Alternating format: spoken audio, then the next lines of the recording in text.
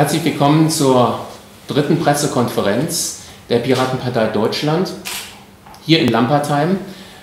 Es ist der Bundesparteitag 2016-1. Er läuft immer noch. Mein Name ist Olaf Krüger. Zu meiner Rechten haben wir Carsten Sarosch, den zweiten Bundesvorsitzenden der Piratenpartei Deutschland. Zu meiner Linken haben wir Christos Thediotis, äh, der politische Geschäftsführer der Piratenpartei Deutschland. Es geht heute hier jetzt um die bereits gefassten Beschlüsse. Das heißt, von gestern bis zum jetzigen Zeitpunkt, es ist 13.30 Uhr, der Parteitag dauert noch an, aber es gibt einiges zu sagen. Insbesondere zum letzten Beschluss, da hat es etwas Diskussionsbedarf gegeben, aber offensichtlich wird die Partei nicht die Partei der Besserverdienenden, sprich also der Regelmitgliedsbeitrag bleibt bei 48 Euro. Wie siehst du das, Carsten? Ja, wie sehe ich das? Ähm, ich möchte es mal als schwierig ähm, betrachten oder bezeichnen. Ähm, wir sind natürlich in der Situation, dass wir über die Mitgliedsbeiträge natürlich unsere Unkosten auch bestreiten müssen. Und das ist natürlich äh, nicht ganz einfach, wenn es nicht passt. Einfach eine, eine Kostenausgaberechnung. Nicht? Mhm. Aber das Gremium entscheidet halt und es gab verschiedene Module, verschiedene Möglichkeiten von Mitgliedsbeiträgen, die zum Tragen gekommen wären die dann zwischen 48 und 144 Euro gelegen hätten. Ein ermäßigter Beitrag sollte dann angefasst werden, nicht angefasst werden. Im Prinzip haben wir im Moment die Situation, wir bleiben, wie du schon richtig sagtest, bei den 48 Euro und bei den 12 Euro ermäßigt. Ähm, ich bin mir aber noch nicht ganz schlüssig, ob die Diskussion im Moment draußen tatsächlich schon abgeschlossen ist. Ähm, das kann ich im Moment nicht beurteilen. Mal sehen, was da eventuell noch nachkommt. Mhm. Wir haben ja gestern auch einiges zur neuen Struktur des Grundsatzprogramms während der zweiten PK mit dir äh, gehört. Wir haben unter dem Motto Sozial, Digital, Punkt diesen Parteitag eröffnet und laufend und einiges auch an Beschlüssen zur Digitalisierung gefasst, unter anderem jetzt neu keine Überwachungsmaut beispielsweise und die Abschaffung des großen, großen Lauschangriffs. Wie siehst du das? Wie hat sich die Piratenpartei jetzt positioniert? Im Prinzip so, wie wir das schon immer propagiert haben. Ähm, das sind ja Themen, äh, die äh, ganz klar darauf hinweisen, dass ich in meiner äh, Bewegungsfreiheit, in meiner unkontrollierten und unüberwachten Bewegungsfreiheit eingeschränkt werde. Und von daher konnte es von uns nur dieses Thema geben und auch diese Absage diesen, diesen Themen gegenüber. Christos, es gab natürlich neben der Digitalisierung noch die wichtige Komponente des Sozialen, sprich also insbesondere des Asyls. Da wurden mehrere ähm, Anträge angenommen, beispielsweise das Asylpaket, wie es so schön heißt, mit den Modulen für ein rechtsstaatliches Asylverfahren und Abschiebestopp im Winter. Du hast ebenfalls dazu eine Rede gehalten. Wie siehst du die, äh, die Position der Piratenpartei jetzt nach, dem an, nee, angenommen, nach den angenommenen äh, Anträgen? Das war ja schon von vornherein ein gefühltes Muss, dass wir uns für die Flüchtlinge oder für die Menschen, die herkommen wollen, auch einsetzen. Es gibt viele äh, Piraten, die sich in diesem Bereich einsetzen, sei es mit direkter Hilfe, sei es mit äh, der Hilfe vor Ort bei den Flüchtlingen, sei es mit Freifunk, sei es wie auch immer. Das wurde ja bei uns schon immer getätigt. Wir haben jetzt nur sogar programmatisch was geschaffen, wo wir auch ich als Polgev sagen kann, da steht's, ich kann diese Position übernehmen. Es ist wichtig, dass die Menschen, die herkommen, Menschen sind, dass wir denen helfen und dass wir auf jeden Fall nicht vergessen, dass es Menschen sind und keine einzelnen Produkte und keine einzelnen Zahlen. Ähm, in der letzten Vergangenheit, also in der letzten Woche sagte der Söder zum Beispiel, er möchte 300.000 Leute gleich rausschmeißen. Was für ein Verfahren sonst ist an. Es war einfach eine Polemik in dieser äh, Diskussion, was er eingebracht hat, damit er seine Stammtische in Bayern mal wieder auf Kurs bringt. Gestern, vorgestern war das in, in Sachsen, da kam ein, ein AfD-Mitglied, der der Leiter dieses Flüchtlingsheims war, äh, hat die Information wohl weitergegeben an, an eine Horde von 100, 200 Leuten, die dann einen Bus von Flüchtlingen erwartet haben. Das sind Sachen, die dürfen einfach in diesem Land nicht passieren. Und es darf auch in der Polemik nicht so weit sein, dass wir vergessen, dass wir Menschen sind. Und wir haben die Aufgabe, uns gegenseitig zu unterstützen. Und wenn Menschen aus Syrien oder wo auch immer sie herkommen, Hilfe brauchen, dann sind wir verpflichtet, als Christen und als Menschen und, schon, und auch als Piraten dazu äh, helfen zu sein. Du hast gerade deine Funktion innerhalb der Piratenpartei im Bundesvorstand erwähnt, politischer Geschäftsführer. Das heißt, äh, du befasst dich nicht nur mit Themen wie etwa Asyl, sondern auch mit dem Freihandelsabkommen TTIP. Wir haben dazu ebenfalls einen Beschluss gefasst. Wie siehst du da jetzt die Position gestärkt der Piraten? Auch, auch ähnlich wie beim Asyl, das ist, wir kämpfen als eine der ersten Parteien gegen TTIP, gegen CETA, gegen die ganzen äh, Freihandelsabkommen, die nicht, wir, kritisieren nicht, dass es ein Abkommen gibt, sondern wie das zustande kommt. Dass im Endeffekt keiner in der Lage dazu ist, äh, danach zu gucken so richtig. Es, kann, es ist keinem klar, was da passiert. Ich war im Bundestag letztens, da hat ein Abgeordneter zu mir gesagt, äh, der kam von der SPD, glaube ich, der sagte zu mir, Christoph, schau dir das mal an. Äh, wenn, ich, äh, wenn ich ein TTIP, wir haben äh, Kopien bekommen vom TTIP, das ist in so einem schwierigen Englisch abgedruckt. Ich bin zwar Jurist, aber ich habe keine Ahnung, was da drin steht. Wenn mir das ein Jurist sagt, dann, ich, dann bin ich richtig nervös. Ähm, vergleichsweise dazu sehen wir auch die Abkommen, die in Mexiko und äh, mit Mexiko und USA passiert sind. Da war ja auch vorher die Rede von den Amerikanern, es wäre 100.000 neue Arbeitsplätze. Da sind aber keine 100.000 neue Arbeitsplätze passiert, da ist gar nichts passiert. Im Endeffekt sind die kleinen Unternehmen oder die, die, die Unternehmer da die Leidtragenden. Also ich finde den Antrag als solches super und bin glücklich darüber, dass er passiert ist. Sowohl in deinem Ressort als auch in deinem, Carsten, ähm, ist dieser Antrag, nämlich keine Einschränkung beim Bargeldverkehr, auf großes Interesse gestoßen. Wie kommt das? Also Bargeld zu beschränken äh, heißt ja nichts anderes, als dass du im Endeffekt alles elektronisch machst, den Zahlungsverkehr. Es das heißt nichts anderes, dass du die komplette Freiheit des einzelnen Menschen beschränkst. Es heißt nichts anderes, dass du, dass du eine absolute Kontrollfunktion des Staates hast und es erinnert mich an den Kommunismus früher, wo die Mauer noch da war. Also so, so war es früher in Jugoslawien. Ich weiß noch, wo ich da runtergefahren bin, äh, da wurdest du kontrolliert, wie viel Geld du hattest. Da war ich ein kleiner Lütte und da kamen die mal an mit dem Kalaschnikow äh, und sagten, wie viel Geld du haben. Und da hat meine arme Mutter immer gesagt, hm, nicht viel. Äh, blöd. Also sollte man nicht machen irgendwie. Mhm. Oder was sagst du denn dazu, Carsten? Es ist ja relativ einfach nachzuvollziehen. Wenn ich sage, ich äh, begrenze diese Geschichte im Bargeldverkehr, ja, lege eine Obergrenze meinetwegen auf 5000 oder was auch immer, in dem Moment äh, konzentriert sich natürlich alles auf die Datenspur, die ich hinterlasse, ja, weil ich mit Kreditkarte zahle oder mit Geldkarte oder wie auch immer, was wieder nachvollziehbar ist. Wenn, wenn ich der Meinung bin, auch wenn ich vielleicht finanziell gar nicht in der Lage bin, äh, loszugehen, ich möchte mir ein Auto kaufen und ich kaufe mir dieses Auto, das kostet 5500 Euro, dann möchte ich bitte 5.500 Euro, und das ist Bargeld, ist ein legales Zahlungsmittel, okay, auf den Tisch legen und kaufe dieses Auto und fahre mit dem an die See. Das ist ganz einfach. Das funktioniert nicht, weil ich muss mit Karte zahlen, ich muss mich nackig machen ja, vor den äh, äh Überwachungselementen, äh, die nachvollziehen können, dass ich A, das Auto, wo ich es gekauft habe und wenn ich dann tanken fahre, bleibe ich gleich bei der Karte, kann ich auch gleich sagen, wo ich hinfahre.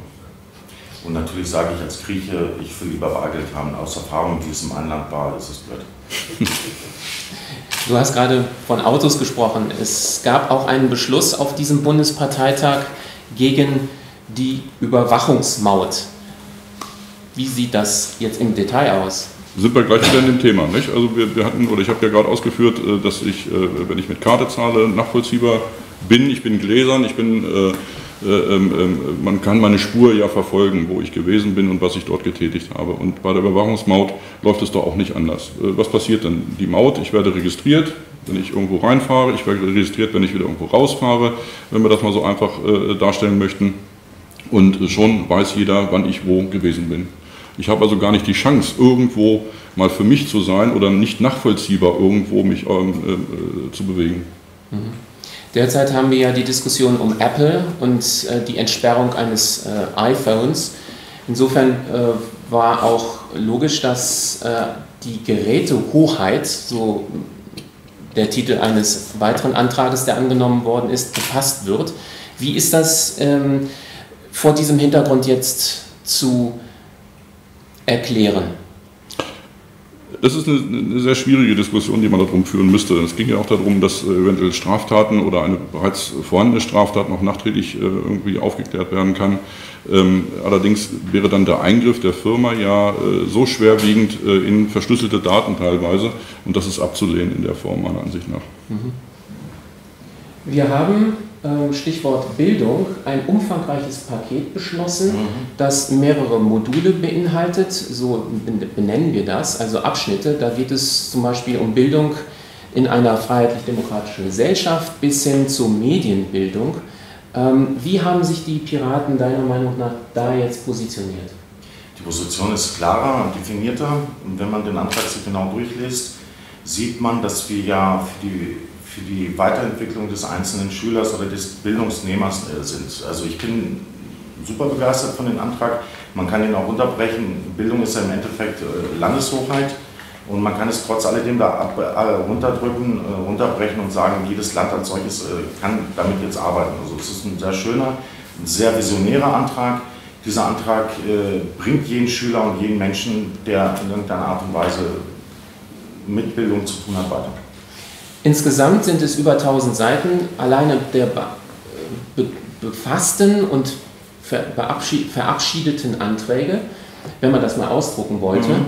Ähm, es gibt aber auch noch einen interessanten äh, Antrag, der angenommen worden ist unter dem Titel Tag des Grundgesetzes. Was haltet ihr davon? Wie gehen wir jetzt damit um?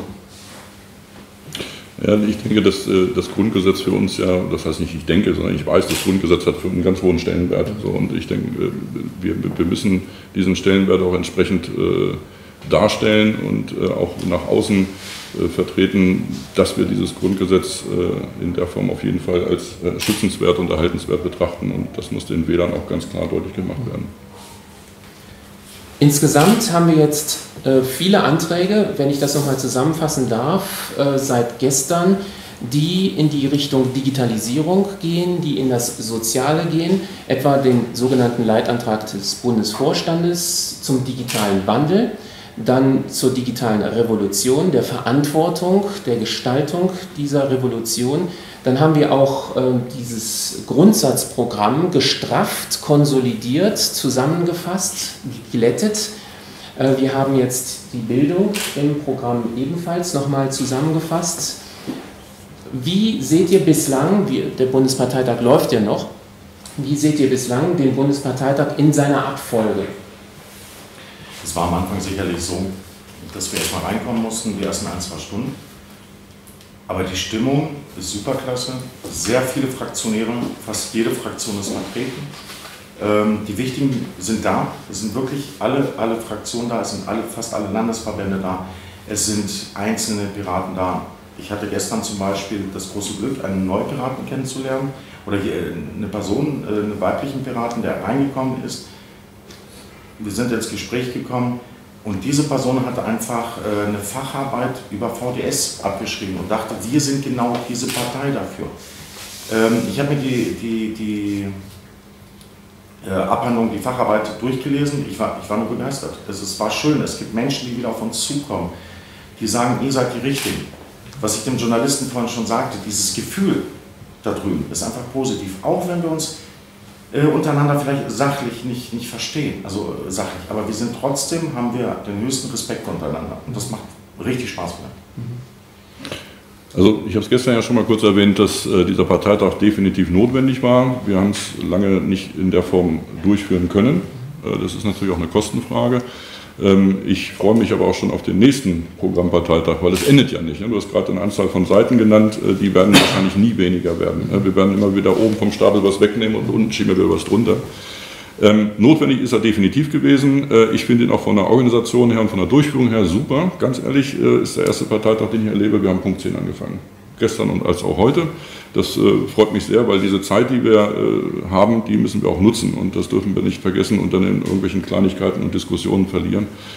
Ähm, und die Anträge, die bearbeitet wurden, zeigen auch ganz klar die Notwendigkeit. Und äh, wenn Uneinigkeit über Anträge bestehen, okay, das passiert halt, aber dafür gibt es die Anträge und äh, die Entscheidung fällt ja dann in der Abstimmung und äh, dann habe ich das auch so zu akzeptieren. Mhm. Die Grundrichtung der Partei steht und ich denke, wir haben genügend Möglichkeiten, jetzt durch solche Anträge dann auch die kleinen äh, Bereiche zu füllen und auch die wichtigen Bereiche nach außen hin definitiv zu vertreten.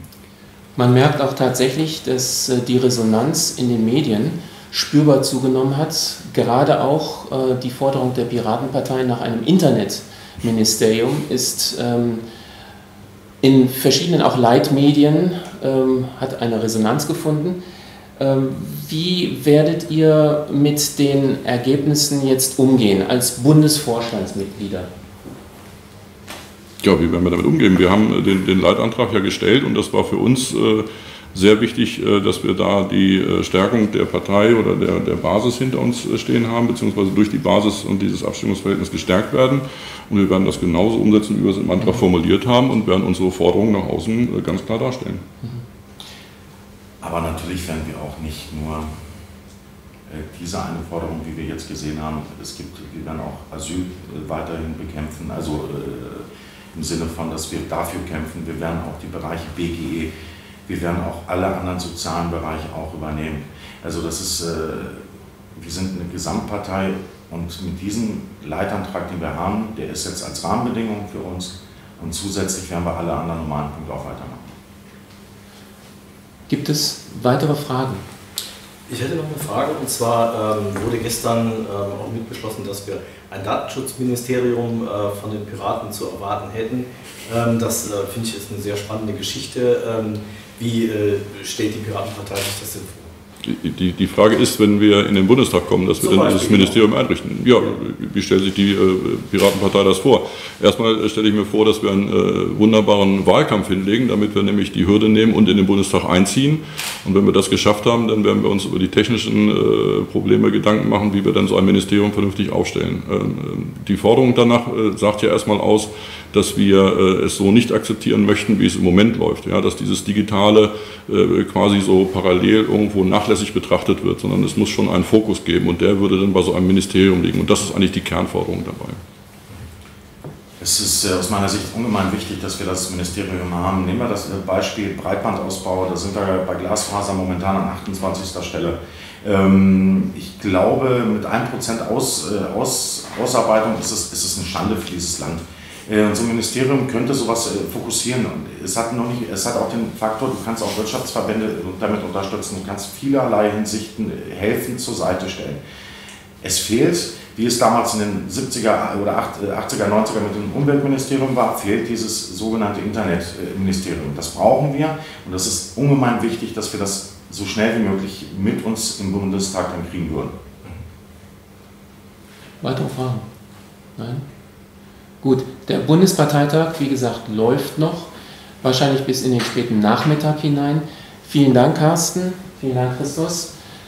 Wir werden sehen, was noch äh, beschlossen wird. Wir werden das auch online stellen und zeitnah posten. Vielen Dank fürs Hiersein. Ja, schönen Dank. Dir, Olaf. Schönen Dank.